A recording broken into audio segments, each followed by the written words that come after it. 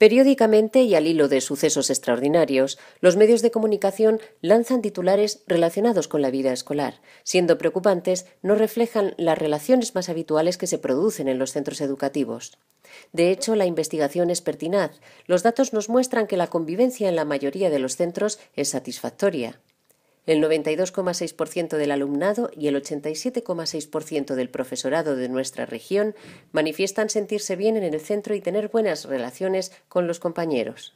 Lo que no quita relevancia a situaciones como la de Diego, un niño del madrileño barrio de Villaverde, que antes de suicidarse deja una carta manuscrita dirigida a sus padres diciendo Nunca os olvidaré.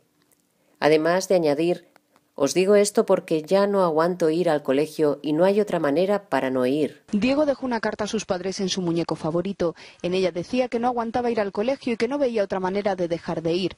Manuel y Mari Carmen están rotos, no imaginaban el sufrimiento de su hijo. No, porque él era muy buen estudiante y no le costaba. Pues yo al principio pensé que tenía jaquecas como tengo yo. Una vez que acababa el colegio, ya él descansaba, ya se relajaba. Yo le preguntaba también, hijo, pero ¿tienes problemas con los compañeros, con los profesores? Y él me decía que no.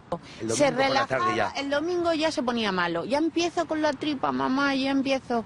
O también la situación vivida el pasado curso escolar en un instituto del sur de Madrid, en el que una chica de 16 años se suicida, despidiéndose de sus amigas por WhatsApp con el mensaje Estoy cansada de vivir. Es en estas ocasiones, al estallar un conflicto, cuando se demandan soluciones con toda urgencia e inmediatez. Llevados por emociones desbordadas, se exigen actuaciones contundentes y se piden responsabilidades. Sin embargo, el estallido de la crisis es el peor momento para establecer soluciones. El conflicto es un proceso, no un acontecimiento puntual. La labor de prevención es fundamental y en demasiadas ocasiones queda olvidada. Lo urgente nos hace olvidar lo importante. ¿Cómo queremos que sea nuestro centro educativo? ¿Queremos un centro educativo sin violencia? ¿Y esto cómo se concreta en el día a día? ¿Queremos educar para la paz y la convivencia pacífica? ¿Para qué modelo de sociedad estamos preparando a nuestros estudiantes? Estas y otras preguntas parecidas son las que nos permiten avanzar para erradicar cualquier tipo de violencia interpersonal. Con el apoyo y el reconocimiento de las comunidades educativas y la sensibilidad de las administraciones, necesitamos construir instituciones escolares en las que cada persona cuenta cada estudiante se considere único y sus aportaciones suponen una significativa contribución a la vida del centro. De ahí la reivindicación de disminuir el número de estudiantes por aula. Un tipo de centro donde el estudiante sea conocido por los profesores y por el personal no docente, tenga relaciones positivas con diferentes adultos e iguales, tenga voz y su opinión sea tenida en cuenta. Por eso es tan importante que las escuelas sean instituciones con alta vocación democrática, centros donde los aprendizajes se plantean con rigor, con apoyo y también en relación con temáticas vitales, en los que se practica la ética del cuidado. La investigación educativa muestra evidencias de que esta es la forma de construir el mejor antídoto contra la violencia y fomentar relaciones de convivencia en positivo. Hay temas como el que hoy nos ocupa que por motivos circunstanciales y puntuales se ponen rápidamente de actualidad y desaparecen de la misma al cabo de poco tiempo, hasta que una nueva y trágica noticia sobresalta a los ciudadanos y vuelve a situarla en primer plano. Existe también la discusión de qué porcentaje es necesario para poder hablar de una convivencia escolar satisfactoria. El porcentaje actual, que ronda el 90%, es suficiente o la muerte de Diego o de cualquier otro alumno alerta de la existencia de un problema grave que es imprescindible afrontar. Rodrigo, cuéntanos. Eh, yo creo que precisamente eh, la convivencia es un indicador eh, de la calidad de un centro. O sea, es un elemento que dice mucho de cuánto de educativo tiene ese centro. Por tanto, yo creo que es un tema relevante. Y es verdad eso que dices, de que bastante que haya un alumno, no el caso ya extremo de Diego, de la, eh, bueno, de la alumna adolescente del sur de Madrid, sino eh, apenas haya un estudiante, un alumno que lo esté pasando mal, que sufra, eh, tenemos que ocuparnos del tema.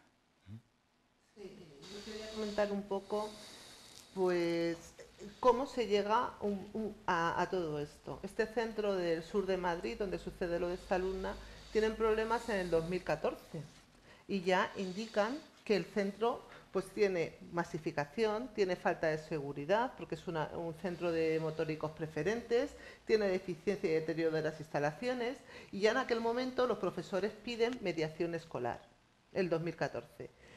Se hacen unos paros eh, reivindicando todo esto, y en el 2015 eh, sucede la tragedia el 2 de junio se hace una concentración y ahora mismo en el 2016 están otra vez movilizados porque la Comunidad de Madrid pues, eh, vuelve a hacer una incidencia en el centro. ¿Qué ha pasado en este centro? Una de las cosas que pasa y que marca esta tragedia es que se pasa de tener 681 eh, alumnos en 2008 a a tener 1.132 alumnos en 2015, por ejemplo. Entonces, otra de las características de este centro, ¿cuál fue? Que no había suficientes orientadoras en el centro. Había una orientadora para 1.200 alumnos, para 1.132 eh, alumnos. Entonces, para tener una buena convivencia se necesitan también recursos materiales y personales. Y esto, por ejemplo, es algo que en la Comunidad de Madrid hasta este momento no se le ha prestado ninguna atención. Eh, la idea de los recursos eh, siempre se ha venido criticando como el hecho... Es más, hay una corriente dentro de eh, algunos grupos de expertos, la OCDE insiste mucho, de que no los recursos da la calidad. Y efectivamente, no simplemente los recursos da la calidad de la atención educativa en un centro, pero cuando bajamos unos mínimos que son necesarios, el riesgo es mucho mayor. No obstante, yo quería ah, hacer un inciso diciendo, eh, yo creo que puedo decir, sin ánimo a equivocarnos o sin ánimo a equivocarme, de que los centros en nuestra región son centros seguros. O sea, no, es la, no hay un clima habitual de conflictividad, de conflictividad, de violencia, de situaciones de extrema de riesgo. Ahora, como decía al principio, hay situaciones de riesgo que casualmente en momentos de especial crisis del sistema, unido también a los recursos, aparecen como emergentes determinados comportamientos que nos dicen que tenemos un problema. Y eso es el que, eh, bueno, yo creo que podemos luego ir abordando, que tiene que ver no solo con los recursos, tiene que ver con una concepción de la función que tiene una institución educativa y tiene que ver también con la sociedad que espera de esa institución educativa, claro. Claro, Rodrigo, pero el problema es que eh, los recursos no dan la calidad, pero la falta de recursos inmediatamente provoca problemas. Ese es el tema que tenemos que tener claro. Cuidado, una cosa, no es que con recursos resuelvas el tema, pero si te faltan recursos tienes problemas con absoluta seguridad. Eso es lo que he estado diciendo, efectivamente, que el recurso no soluciona, pero una carencia de cursos eh, mínimos agrava cualquier situación de riesgo. Sí, aquí quería yo también añadir eh, la situación de, de convivencia suele ser positiva. Es verdad que, un tema tan delicado como los de la presentación pues se puede dar en cualquier momento, en cualquier contexto, en cualquier centro educativo. Lo que tenemos que tener claro es eh, saber identificar qué es el acoso escolar y qué medidas se deben de, tocar, de tomar, tener una serie de protocolos de actuación y no olvidar que también el tipo de educación que se fomenta influye mucho en las situaciones de acoso. Estamos en un momento donde bueno, hay una educación, que, un sistema educativo y una, legislación que suprime las humanidades, fomenta la, competitividad y el interés individual frente a la colaboración y la, la, cooperación, frente al diálogo, que no favorece una escuela democrática y participativa, pero fomenta un clima ideal para el abuso, el maltrato y el acoso escolar. Eso también tenemos que tenerlo presente, qué tipo de educación queremos y cómo la llevamos a cabo. Claro, si, tú lo que planteas es que el, compañero que tienes no es un, compañero o un posible colaborador, sino es un, eh, eh, eh, es un contendiente o es, un adversario, es evidente que difícilmente puedes plantear algo que tenga sentido dentro de la convivencia. Es una convivencia que viene lastrada ya por ese planteamiento. Pero siendo cierto eso, yo creo que hay más elementos que inciden en el planteamiento que estamos hablando. Claro, sí.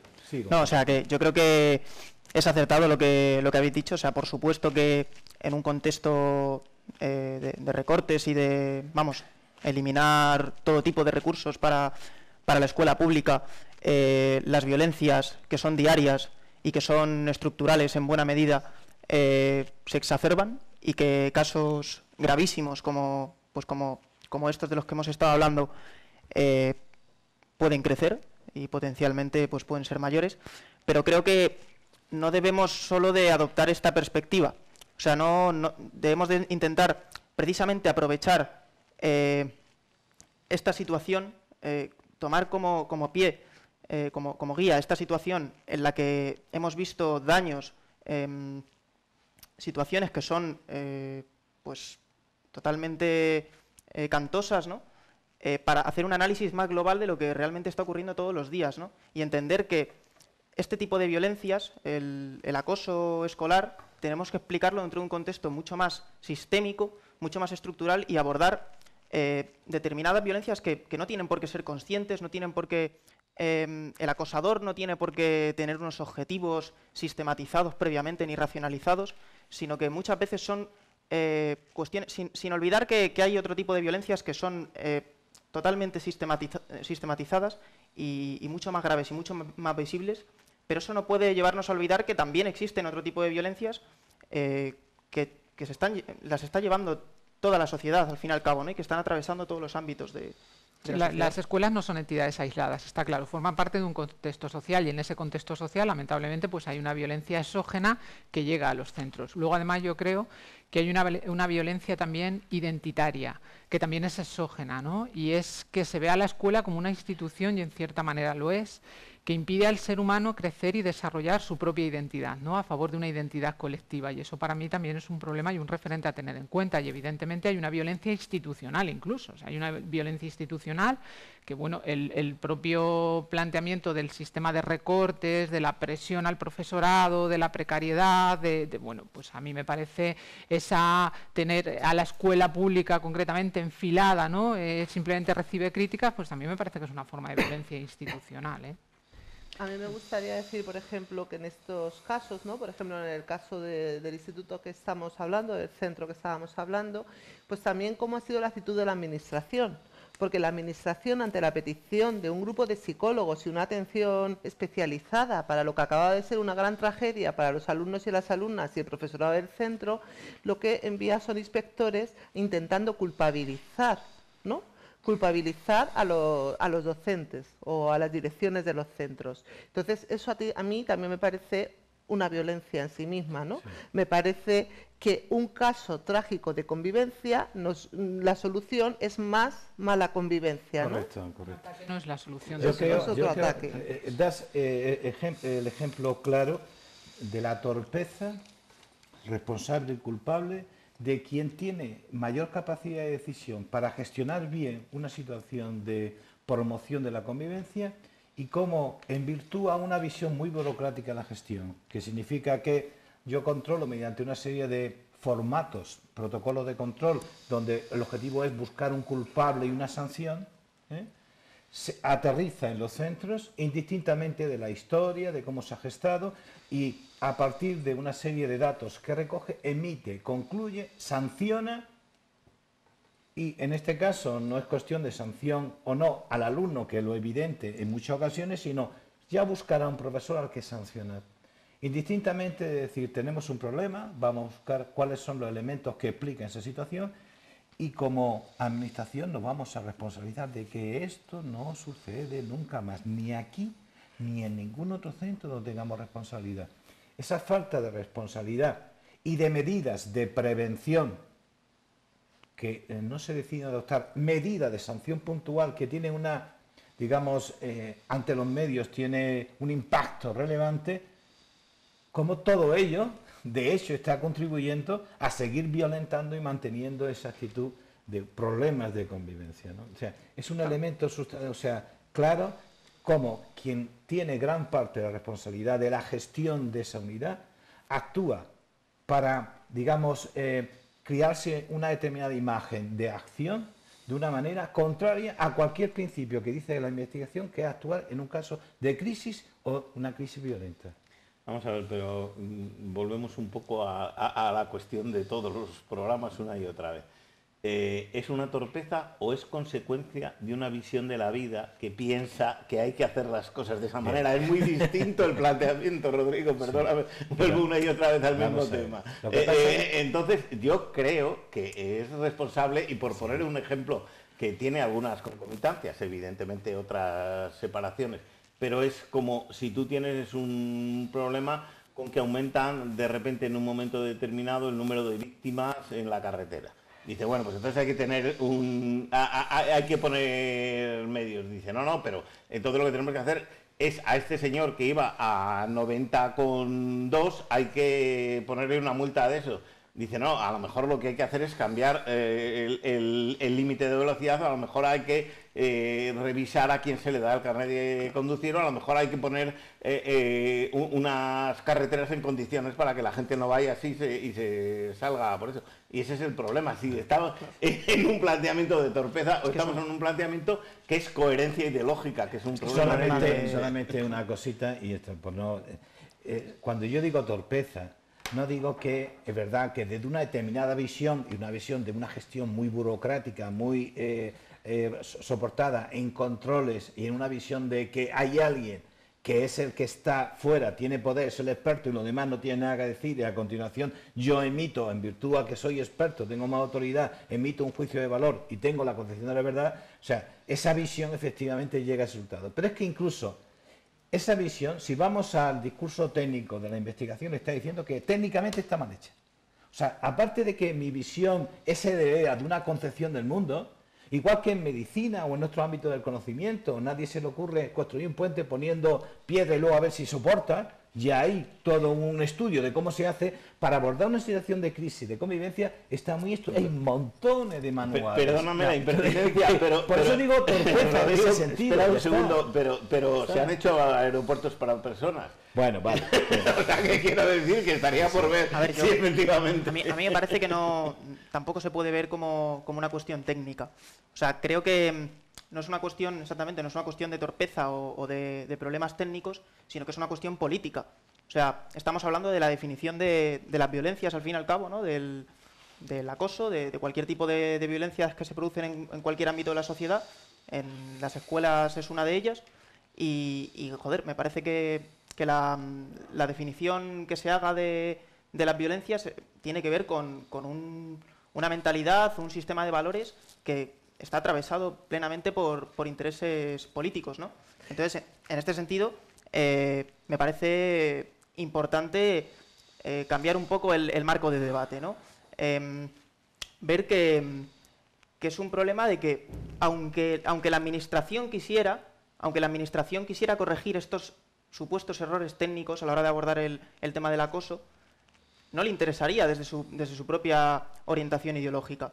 O sea, al fin y al cabo, la, Administración y, el resto de, instituciones sociales están reproduciendo esa misma ideología que, lleva, que lleva este tipo de situaciones de, represión y de, violencia. Entonces, no, no puede estar interesada en, cambiar ese marco. Sé que es volver a, cuestiones muy generales y que, como ha dicho Antonio, volvemos un poco a los temas más mm, por encima, más abstractos de siempre, pero, pero bueno, sí que me parece que hay que plantear un poco el, debate dentro de este marco, ¿no? Para, ver un poco más allá de lo concreto.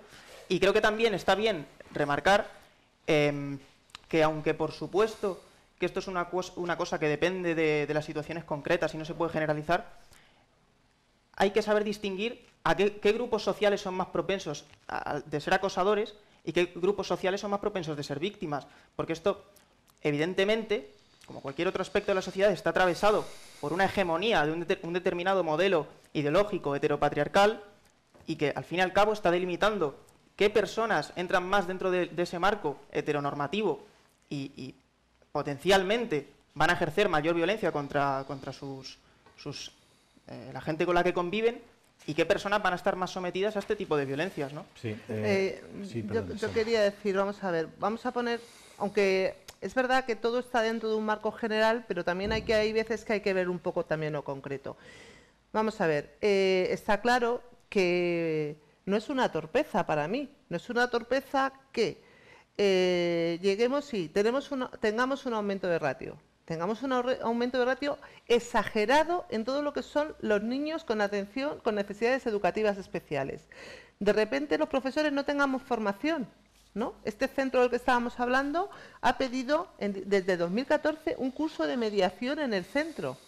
Entonces, hay que felicitar a los profesores y a las profesoras de la Comunidad de Madrid porque tenemos un 90% de, de, buena convivencia en los centros con todas estas condiciones. Y esas las tenemos a base del trabajo personal que se está poniendo. Porque esto que era una tragedia en un centro, con unas condiciones que igual que estalló esta tragedia, podían haber estallado otras en cadena, se, manejó muy bien por parte de toda la comunidad educativa y por parte de todo el profesorado porque, y todo el alumnado y todas las familias, porque se hizo como un ejercicio de sanación, eso es convivencia, eso es una demostración de, la convivencia. Entonces, eso es por, por, un lado el poner en positivo todo lo que, lo que, se, lo que se trabaja ¿no? de forma personal. Pero es cierto, sin recursos, no porque la administración le interese, no le interesa. De hecho, nos pone unas condiciones que lo que es raro es que no nos estalle en muchos más casos.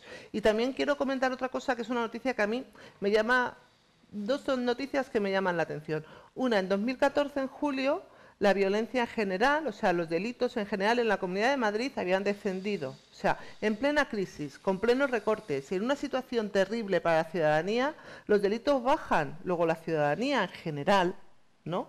Podemos decirlo, que, que se autorregula y se autocompensa sola. Y, y sin embargo, ¿qué delitos crecen? Los que ejercemos entre nosotros mismos, ¿no? Digamos que si hubiera dos, dos, elementos de las clases sociales, ¿no?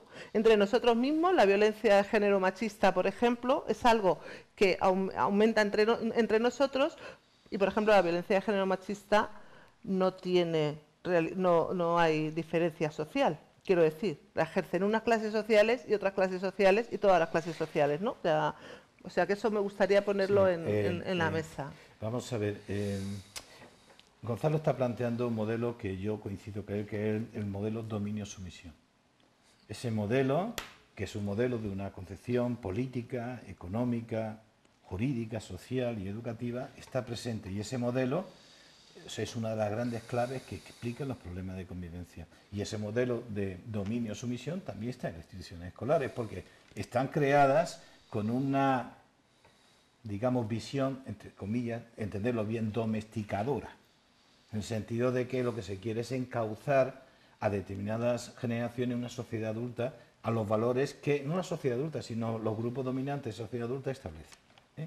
Eso está bien, pero como tenemos que trabajar los docentes día a día, esos análisis tenemos que aterrizarlos a la realidad de cada centro y a las circunstancias de cada centro.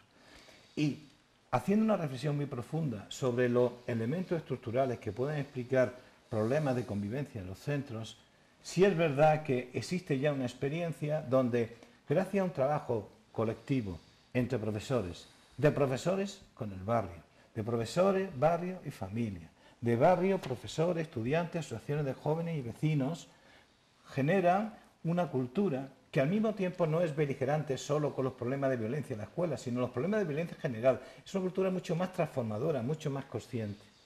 Muy difícil en un marco legislativo como el que Gonzalo planteaba, o en mundo de valores donde, como eh, Gonzalo planteaba. Pero por retrotraernos un espacio donde tenemos que abordar qué elementos podemos poner en juego para que en esa situación la reflexión colectiva nos permite tomar conciencia, seguir moderando y equilibrando una conducta por un beneficio de un sentido común, de un bien común participado como en la educación, ahí es donde creemos que podemos participar y seguramente podemos contar o alguna experiencia, algunas claves que la hay, para que incluso en esos marcos podamos luchar contra esos marcos de injusticia, pero al mismo tiempo creando justicia donde estamos. Bueno, yo, quería añadir a lo que ha dicho Gonzalo, yo es que estoy bastante de acuerdo contigo, porque además es que prevalecen, es evidente, los intereses económicos frente al bienestar común, como tú acabas de decir. Hay una falta de sensibilidad tremenda entre la clase política y concretamente en temas como este, tanto violencia machista como el tema que estamos abordando. Y incluso diría un déficit de humanidad. Yo voy a poner otro ejemplo que a mí personalmente, como persona desempleada, me marcó mucho, ¿no? Y es a una diputada del PP, que imagino recordaréis, cuando se estaba hablando de recortar en subvenciones a desempleados, dijo que se jodan. O sea, ¿cómo lo percibe eso una persona como yo que está desempleada, que está desesperada, que le, le quedaban escasos meses para percibir el, subsidio? ¿no? Pues esa falta de sensibilidad política se ve ahí también, cuando hay eh, esos ratios masificados, esos recortes en personal, esos recortes en medios económicos, en espacios, en tiempos, eh, es evidente que eso también tiene un, un, objetivo y yo diría que es premeditado y que tiene unas consecuencias. ¿eh? Luego estoy de acuerdo contigo. Vamos a ver, eh, yo creo que eh, tendríamos que hacer un análisis por partes para poder ir viendo qué, es lo que, a, qué de verdad obedece ese tema. El primero sería cuál es el origen de ese planteamiento. El origen de ese planteamiento, de una forma muy superficial y muy elemental, pero podría ser que a lo mejor eh, llegaríamos a un acuerdo sobre la base de modificar o, de, o de plantear que es un rechazo al diferente o de alguna manera una bien rechazo, bien separación del diferente. A partir de ahí lo que te planteas es, si eso ocurre así, si eh, efectivamente tenemos elementos para poder afrontar ese problema y qué medios se ponen para afrontarlo. Y ahí, y ahí tendríamos que ver, primero, unos medios de prevención previos a esa situación y otros sería los posteriores una vez que se ha producido el hecho y que de alguna manera tienes que ser sancionado. Y es en la única parte en la que podría entrar el planteamiento del que estábamos hablando antes, en, la parte sancionadora. Pero nos hemos perdido todo lo anterior si queremos hacer un planteamiento global y creo que es vital porque eso responde no tanto eh, eh, por, tratar de ser lo más precisos posible. La idea es la misma, pero no, yo no hablaría a lo mejor de, dominio y sumisión, sino de dirigentes y no dirigentes, o de dirigentes y dirigidos. Es decir, de alguien de la élite que su función es conducir a los demás y otros que tienen que obedecer. Eso es a lo que me refería. Entonces, eh, lo digo también porque igual que, que en algunas ocasiones creo que hay que ser muy duro, en la calificación, en otras a lo mejor hay que ser lo suficientemente preciso para no pasarnos eh, genéricamente en eso. Entonces no se trata ya tanto de, un planteamiento de sumisión que parece ya un planteamiento demasiado global, sino simplemente de una convicción de que hay gente que vale para mandar y hay gente que su función es obedecer. Bien, bueno, eh, no sé si quería... Si no, te comento yo alguna cosa así. No, sí, o sea, que, bueno, eh, en realidad es que precisamente si queremos hacer ese planteamiento global, es que ya tenemos que, ponernos a, hacer un análisis sobre todo, ¿no? El análisis que, nunca se hace y que, es que, claro, ya no es una cuestión simplemente de las escuelas, eh, no es una cuestión simplemente institucional, no es una cosa que se circunscriba al Estado y a la Administración, no, no es algo que se pueda cambiar con leyes ni con una mera colaboración entre la institución escolar y, y la estatal, sino que es una cosa, eh, es un tema en el que nos estamos replanteando el, modelo de unidad familiar, para empezar, el, mismo modelo de, relaciones sociales imperante, del, trato con, el otro, eh, tiene, que, tiene que entrar dentro de, este, esta, explicación. Y bueno, habéis hablado de, de dominados y, dominantes, de, élites, de dirigentes y, dirigidas. Em, yo hablaría, por, por ser más concretas, eh, hablaría de, capitalismo y de, heteropatriarcado. O sea, yo creo que al fin y al cabo lo que está en, el fondo de la cuestión es un determinado modelo de familia, un determinado modelo de relaciones sociales, de relación con el otro, y una, forma de, agrupación colectiva, que es, la, que es la familia, que sirve a los intereses de, la reproducción del capital y que sirve a los intereses económicos dominantes. Y creo que desde ese punto de vista es desde, desde el que hay que, hay que jugar con, una nueva visión global que, trate de buscar formas alternativas de relación entre las distintas instituciones sociales, tanto la escuela como el Estado, como la familia. Y, coincido contigo plenamente, Rodrigo, en el, en el, hecho de que has apuntado antes, de que esto es algo que, no puede hacerse simplemente desde, desde, lo legal, sino que tiene que partir de la calle, tiene que, tiene que partir de, espacios de, poder popular, desde las asociaciones, desde, desde, los colectivos de barrio, desde, desde toda una serie de, agentes que desde la sociedad eh, planteen estas formas de, relación con el mundo alternativas. ¿no? Precisamente lo, que yo quiero intentar transmitir, Gonzalo, es que eh, como no podemos esperar una sociedad que algunos consideramos, si no ideal, si más decente que la actual, para eh, decir o llevar a cabo una actuación diferente dentro de las instituciones escolares, yo creo que cualquier sitio es bueno para construir, transformar una realidad injusta. Y las escuelas son sitios especialmente, eh, digamos, eh, cuya función debe estar en transformar la realidad buscando una sociedad más justa.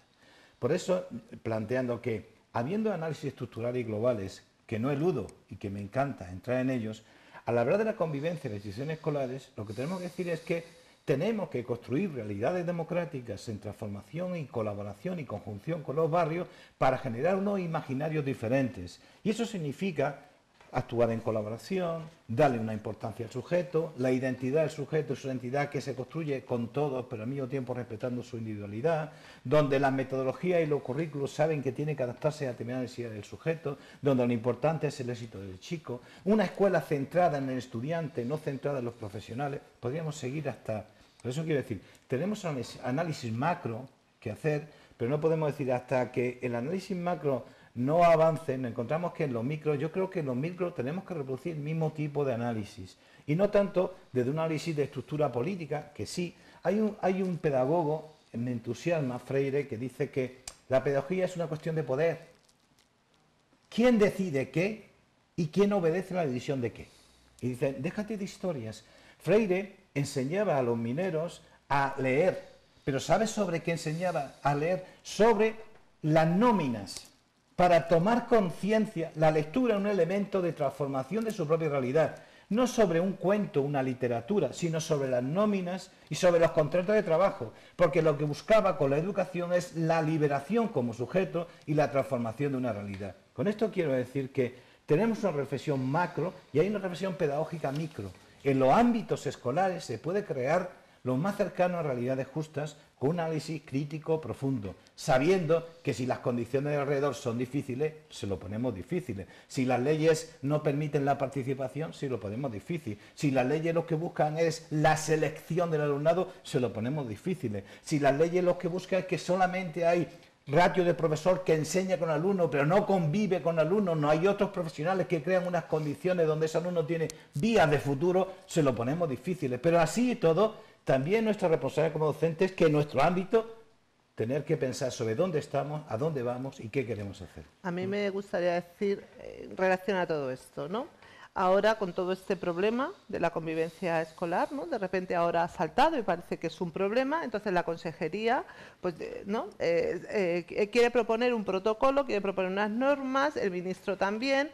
entonces, y volvemos a lo de siempre. ¿Dónde se ha consensuado? ¿A qué parte de la ciudadanía se le ha preguntado? ¿Quién está volviendo a articular el protocolo de convivencia? Entonces, ¿cómo se puede crear un protocolo de convivencia sin ser consensuado y sin ser eh, y, sin, y sin coger sobre todo aquellos centros en los que las experiencias estas que está hablando Rodrigo funcionan? Y donde se está demostrando que hay centros que están trabajando de esta manera y funcionan, y donde alguno de estos centros, lo primero que ha hecho la administración es quitar al director, por ejemplo, ¿no? Entonces, claro, vamos a, volvemos otra vez a lo mismo.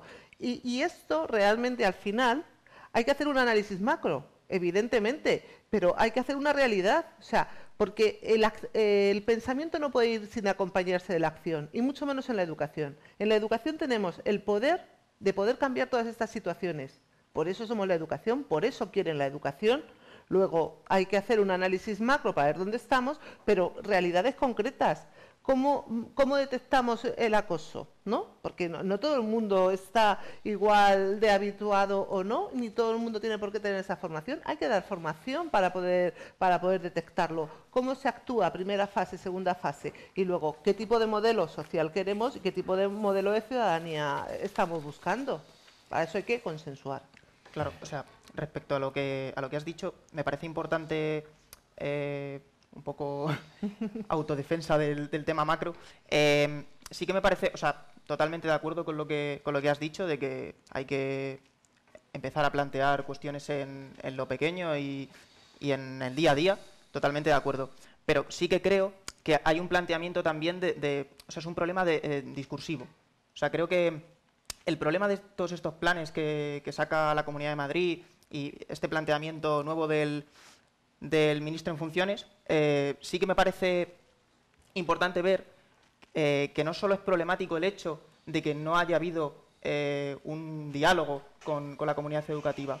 No se trata solo de eso, sino que se trata de que si, si al, leer el, programa, de lo que te das cuenta es que realmente sí que hay una plasmación de una serie de conceptos, de una serie de ideas que muchas veces, pues si, si, no se conociera quién lo, quién lo ha escrito, parecerían incluso como bastante progresistas, ¿no?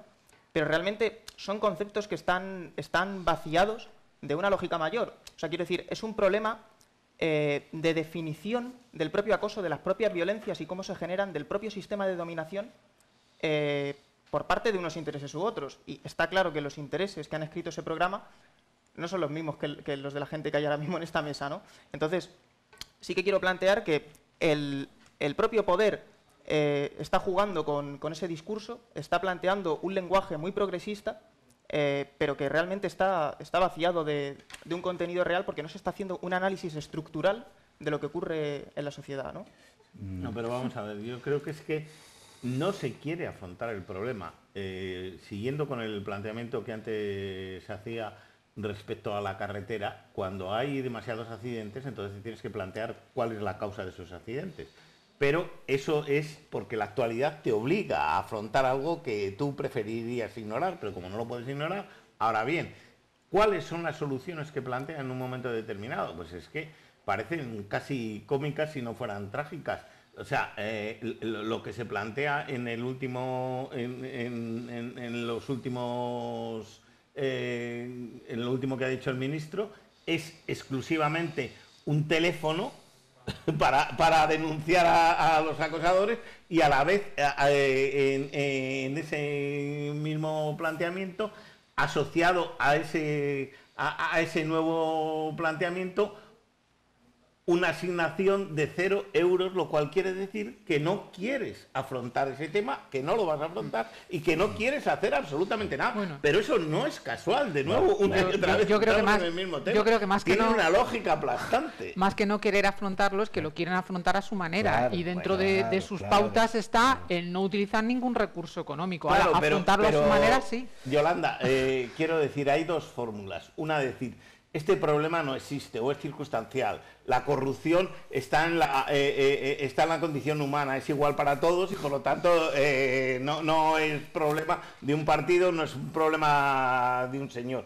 Eso es no querer afrontarlo. Y otra cosa es el, decir, este problema existe, que puede ser el de la economía o el puede ser dice, y lo queremos resolver de la forma. Para mí es muy importante esa diferencia. Vamos a ver. Eso es lo único que quería decir a seguir profundizando un poquito.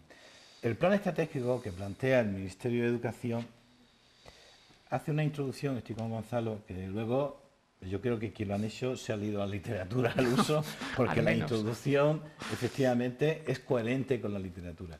Pero claro, luego, como decimos siempre, la normativa, la introducción en los preámbulos está muy bien, pero son el, articulado donde se dice el hacer, ¿no?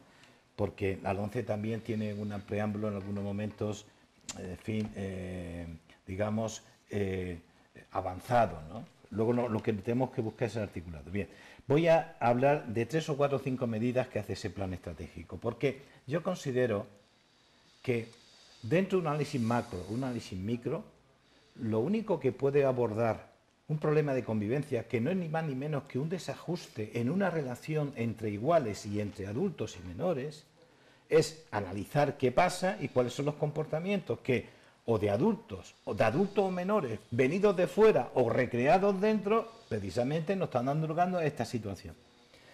Y, perdona, pero una escuela, lo único, o sea, los elementos sustanciales de FINA es lo que enseña, el currículum, la organización, cómo se montan las relaciones de una manera estructurada y esa visión y esa actitud de confianza de uno en el otro. Esos son los elementos esenciales. Y vamos a analizar si en las propuestas estratégicas de convivencia del, plan estratégico del Ministerio atiende a cambiar el currículum, cambiar la organización, cambiar los tiempos y cambiar las relaciones entre las personas. Y dice, primera medida, un teléfono gratuito. Ni cambia el currículum, ni la organización, ni la manera de relacionarnos el uno al otro, sino que buscamos que el problema, buscamos un teléfono que de pautas a distancia para la actuación, pero lo que la escuela le es característico, eso ni se toca. Vamos a seguir. Dice, recibirán formación específica para abordar la convivencia, pero no para abordar ni qué enseño, ni cómo enseño, ni cuándo enseño, ni con quién me relaciono, ni qué espacio le doy estudiante. Hago un protocolo, o sea, primero cojo el alumno, luego le entrevisto, llamo al padre, a continuación le digo que la próxima vez la puso, a los tres falta. Eso, es, eso cambia el currículum, el modo de enseñar, el modo de organizarme, el modo de relacionarme, el modo de, entrar y participar en el barrio. Luego hará un registro estatal de la convivencia y eso me modifica el modo de enseñar, el modo de relacionarme, el modo de organización Hago una red de escuelas de tolerancia cero. Hombre, esto sí podría un poquito acercarse el tema de tolerancia cero, pero ¿modifica usted mediante ley lo que tiene usted que enseñar si es absurdo o no? ¿Modifica usted durante ley el que los profesores estén solo 45 minutos rotando locos los unos con los otros? ¿Modifica mediante, mediante ley la evaluación que fundamentalmente se preocupa de que tenga una calificación en décima y si no llega un... Porque ¿sabes tú que un alumno con necesidad educativa especial ya no titula por tener esa etiqueta? Todo eso que es segregar, expulsar, diferenciar, no, no lo tocamos. Le ponemos un teléfono, le hacemos un protocolo, le hacemos un registro estatal. A ver si conseguimos transmitir a los que participan en la audiencia con nosotros del hecho de que no es buscar, eh, digamos, de una manera perversa una situación, sino eh, encontrar algunas claves, pensar un poquito juntos para que no nos den gato por liebre y cuando le dice un plan estratégico y empezamos a leer, digo, uy, qué bien, y luego resulta que es un teléfono, que es un protocolo, que es un registro de padres, que es un registro de tolerancia, que es a instancia del Ministerio de Justicia, un distrito de delincuentes, pero ¿qué me está diciendo ahora? Pero Rodrigo, lo que estás diciendo es eh, confirmar lo que yo había planteado, pero eh, aparentemente quieren afrontar el tema, pero en realidad no lo quieren afrontar, y vuelvo a decir, si eso lo completas con que la dotación es cero, es, ya de, vuelvo a decir, de carcajada, porque entonces te dice, no lo vas a intentar, ni siquiera lo vas a intentar. Lo intentas teóricamente, pero no lo intentas prácticamente, porque una cosa que tiene una dotación cero significa que no se hace nada. El teléfono gratuito a lo mejor porque es eh, más barato. Me recuerda mucho esto al tema de la violencia machista. El teléfono, unos protocolos, unas estadísticas, unas historias, pero bueno, luego nos olvidamos, como tú dices, de contextualizar de qué modo va a ocurrir esto, en qué contexto ocurre. Vivimos en un país donde, por poner un ejemplo, pues las mujeres seguimos cobrando un salario inferior en muchísimos ámbitos, entonces ese problema no lo abordamos, que se perpetúa ahí durante décadas. Pero sí, lo del telefonito veo que han seguido la misma estrategia y tienen el mismo guion y les sirve claro, Yolanda, pero es que es más grave todavía, es como si dices luego, eh, pero no puedes vigilar al, señor que tiene, eh, eh, que tiene que estar a 500 metros tuyo, porque entonces te da igual. Si, no tienes dinero para que haya gente que le vigile, pues evidentemente acabará matándote si, eso es lo que quiere hacer. Con lo cual está clarísimo que no está resolviendo el problema. pero lo que pasa es que me gustaría que los juicios lo hacemos sobre, intento ponerlo como dato en el sentido de que no es que diga sí o no, sino simplemente poner en evidencia algunos datos, pero que, porque no es una, digamos, un juicio de intenciones. No me gusta hacer juicio de intenciones, sino poner referencias que a la, a la gente que, bueno, nos dedicamos a este ámbito educativo, pues nos permite decir, estaré equivocado porque yo creo que lo único que nos permite avanzar el pensar es pensar que nosotros estamos equivocados. Pues si pensamos que estamos siempre en lo cierto, lo que hacemos es confrontar argumentos para que nos den la razón. Entonces, vamos a pensar la idea que estamos equivocados. Entonces, me gusta ese planteamiento de decir, voy a encontrar cosas para quitarme la razón. Y claro, cuando veo que el plan estratégico se monta sobre eso, y luego hay otras cosas, ya te digo, muy de introducción, pero vamos a la medida, se monta sobre eso, y entonces me tengo que dar la razón de alguna vez otra vez, y no diré que me molesta, pero me gustaría alguna vez encontrarme la, la contra, ¿no? A mí también. Bien. Bueno.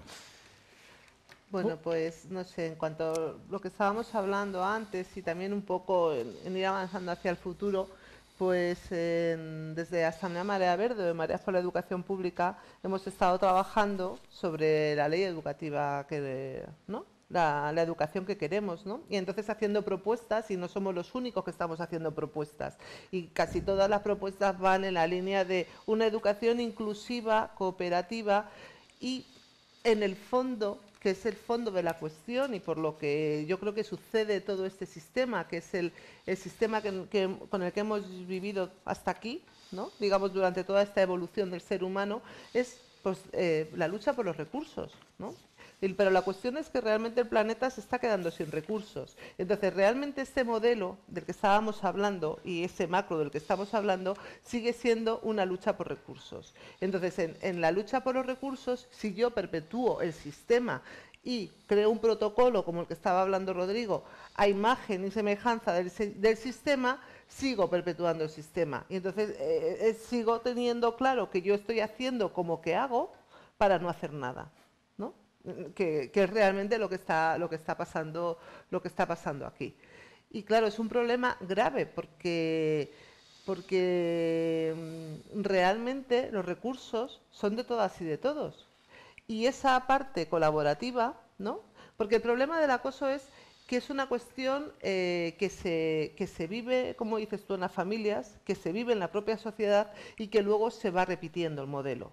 Entonces, cuando llegamos a, esta lucha por los recursos y nos colocamos en lo que se supondría una lucha más o menos juntas y todos, muchas veces nos quebramos entre nosotros mismos, porque volvemos a reproducir este sistema. Sí, efectivamente. ¿No? Entonces, claro, el, sistema no es que esté implantado en el macro, nosotros mismos tenemos que hacer una reflexión muy grande de todo este sistema, ¿no? Por todo esto que, que, estoy poniendo aquí. Sin duda, pero una de las cosas que se repite sistemáticamente, y lo hemos visto nosotros y lo veremos todavía más en, en muchas ocasiones, es que eh, en la metodología se establece una clarísima diferencia. Ellos defienden la postura de los expertos y digamos que nosotros defendemos la colaboración por parte de eso. Eso responde a algo extraordinariamente importante y es a qué das prioridad en un momento determinado. En un momento determinado puedes dar prioridad bajo el planteamiento de los expertos, ojo, que, eso tiene trampa, porque yo puedo encontrar expertos que digan A, B, C y D y cogeré eh, los D si soy yo lo que quiero defender es el D y siempre lo voy a encontrar. Y si lo que quiero defender es el A, pues encontraré expertos que defiendan el A, con lo cual tengo ya justificado perfectamente. Con lo cual lo que estás es, como tú muy bien decías, reproduciendo un sistema. Mientras que el otro, ¿qué es lo que plantea?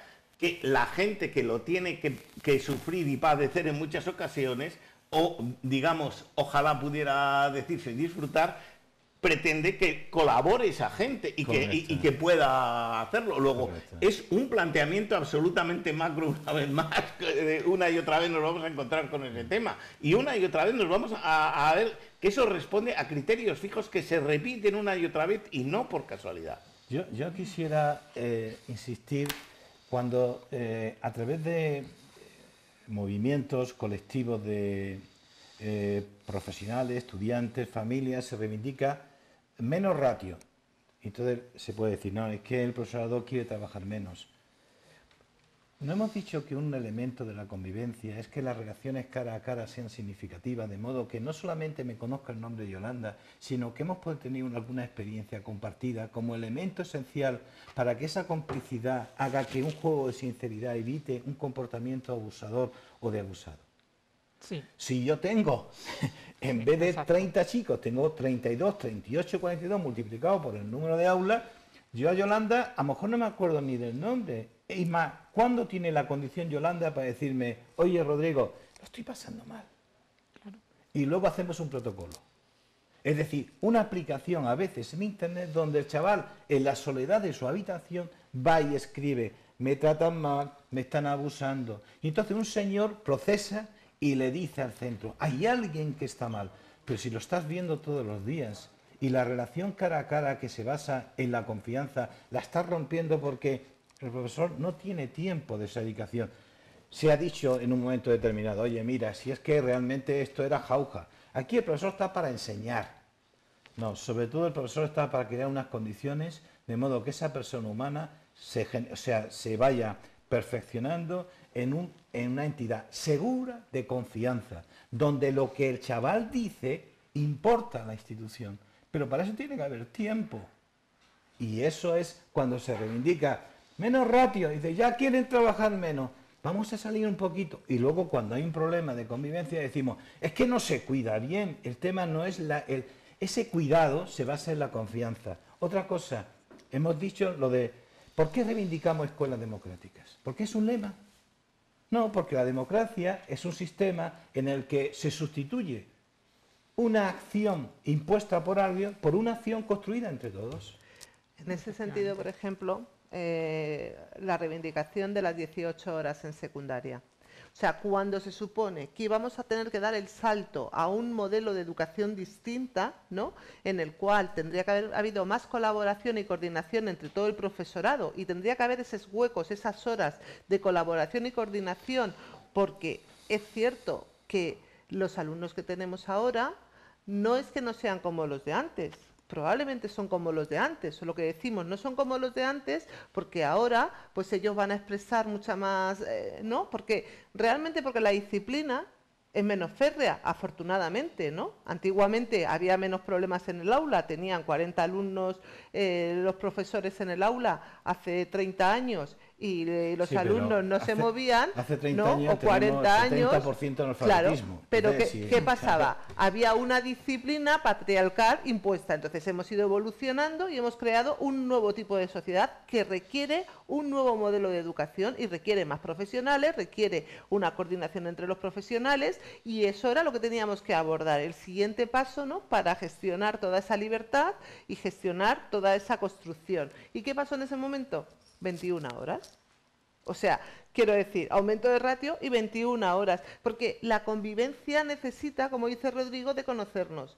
Hay claustros en los cuales son tan grandes que los profesores entre sí no se conocen. Entonces no se conocen los profesores entre sí, no se conocen, no se conoce a todo el alumnado del centro. Es, es todo eso ¿no? Pues eh, las relaciones humanas se van deteriorando.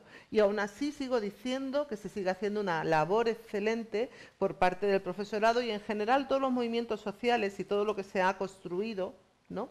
Desde todas las movilizaciones han vuelto a construir barrio, han vuelto a construir eh, esta, esta, convivencia entre, entre, el profesor, el médico, el vecino, el farmacéutico y y el alumno y el estudiante y estamos todos juntos y somos todos iguales, ¿no? O todas y todos iguales, por lo menos lo estamos intentando. Entonces, eso realmente es una construcción real, de acción real de la otra parte que estamos que estábamos hablando. Pero yo veo un problema tremendo aquí, y es que yo creo que nosotros sí que queremos de verdad una escuela democrática y participativa, pero sinceramente el Partido Popular no quiere una escuela democrática y participativa, y la prueba la tenemos en que todas las decisiones que toman son jerarquizadas, y nosotros aquí nos, nos convertimos en víctimas y ellos son los opresores, si no hay nada más que ver cómo se aprobó la 11, qué movilización hubo, qué concienciación social, qué implicación de la comunidad educativa y qué hicieron, pues oye, se aprueba sí o sí. Bueno, nos toca ya hacer el resumen como en cada final de programa. Rodrigo. Sí, yo voy a ser muy, muy cortito y yo creo que la convivencia escolar es una conquista, es un logro. O sea, es, algo que hay que hacer cosas, ¿eh? porque eh, el entorno no lo pone fácil. No digo el entorno natural, sino una determinada construcción social, cultural, etcétera, no lo pone fácil. Por tanto, la, convivencia escolar es un logro, pero es un logro que es el resultado de poner el mayor compromiso ético con una escuela justa. No ceder en lo más mínimo de que las relaciones en el ámbito escolar se acercan a ese valor de justicia, ese valor de derecho y ese valor de inclusión que, por ser un centro educativo, no puede en ningún momento eludir. Yo diría que educar para la convivencia no es una utopía, es una necesidad y es un derecho de todas y todas y todos para crear sociedades más justas y respetuosas. Y es más, añadiría algo que he ido tomando nota, es un mensaje a toda la sociedad y en especial a los políticos y a su comportamiento que deja mucho que desear últimamente. No solo a los de aquí, ¿eh? me refiero en situaciones, por ejemplo, como las que estamos viviendo ahora a diario con el tema de los sirios, de cómo vienen, atraviesan el mar y la situación tan dramática. En palabras de Adela Cortina, catedrática de Ética y Filosofía Política de la Universidad de Valencia, negarse a hablar con otros, excluirlos sin preocupación por conocer ni sus razones ni sus sentimientos, es enfermar de inhumanidad, que es una enfermedad muy grave. Bueno, pues yo, o sea, por supuesto, elogiar la actitud diaria de miles de, profesionales, miles de familias y miles de niñas que están luchando también por, que cambien este tipo de situaciones. Eh, por supuesto, elogiar esos espacios de, empoderamiento popular que, ya existen y que, están luchando día a día. Eh, pero sí que trataría de que no nos quedáramos con simplemente con lo superficial, de no quedarnos simplemente con la ilusión de los problemas por parte del gobierno y por parte del Estado, sino tratar de ir un poco más allá y ver que esa ilusión de los problemas, esa actitud de simplemente poner parches y de decir, os doy esta mm, tirita para que se la pongáis al problema encima y, en realidad no estoy aportando ningún tipo de recursos para que se solucione el problema de verdad, eso responde a una determinada ideología, a un determinado modelo de relaciones sociales que se quiere mantener. Entonces, ese es el problema que hay que analizar y cualquier solución global tiene que partir de una transformación profunda, no solo de lo que ocurre en las escuelas, sino de lo que ocurre en las familias, de lo que ocurre en el Estado y de la manera en que se interrelacionan esas tres dimensiones. Y además, muy importante recalcar que esta cuestión no puede partir simplemente de meras reformas eh, legislativas impuestas desde arriba por una parte de, partidos políticos y de sectores de, la sociedad dominantes que nos imponen las cuestiones sin, ningún tipo de diálogo, sino que tienen que partir de esos mismos espacios de, poder popular y tienen que partir de luchas populares que rompan con las dinámicas de mera resistencia y que traten realmente de formular un modelo alternativo del que tenemos actualmente. Bueno, yo para terminar voy a leer propuestas para el compromiso para una nueva ley educativa de Asamblea Marea Verde que presentamos aquí y que también están metidas dentro de la Carta por la Educación de María por la Educación Pública. Un sistema educativo que construya valores como el respeto a la diferencia y no la discriminación, el espíritu crítico, la paz activa, la justicia social, la defensa del medio ambiente, la promoción de la salud y el valor de la interculturalidad. Un aprendizaje cooperativo que sea participativo, colaborativo y nunca competitivo, implicando en su proceso a toda la comunidad educativa. Una evaluación constructiva del sistema educativo en el que participe toda la comunidad educativa y que sirva para dar una visión de la evolución del propio sistema. Proponer mejoras permanentes sobre dicho sistema, proyectos y progresión educativas en el centro. Y para terminar también pedimos, dentro de más cosas, me parece importante porque esto salió mucho en la universidad, ¿no? Y esto me, llamó mucho la atención. Medidas contra la xenofobia, el racismo y la intolerancia. Entonces yo con eso creo que ya, digo. Yo eh, quisiera hacer alusión como final o, hincapié quizá en algo que para mí es fundamental. El, problema de la convivencia y el problema del acoso eh, lleva a que no se quiere asumir un problema que existe. ¿Por qué no se quiere asumir? Porque en un momento determinado la aparición de ese problema pone en cuestión toda una ideología. Entonces lo que está diciendo es esto existe.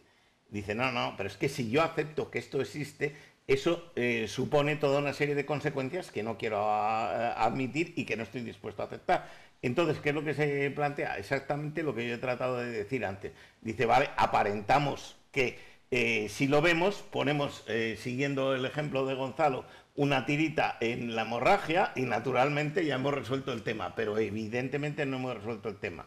Aquí sería pertinente el, precisar que la labor de determinados, colectivos, especialmente la marea y especialmente en este caso la marea verde, ha puesto eh, de relieve y de manifiesto que eso ocurría y que eso existía pero desgraciadamente quizá en el futuro podamos decir lo contrario, todavía no ha logrado cambiar la situación tal como está, pero sin embargo es lo único que ha hecho algo verdaderamente importante de cara al futuro, que es decir, señores, por más que les moleste, este problema existe y este problema pone en cuestión todo lo que se hace respecto a cómo se puede solucionar.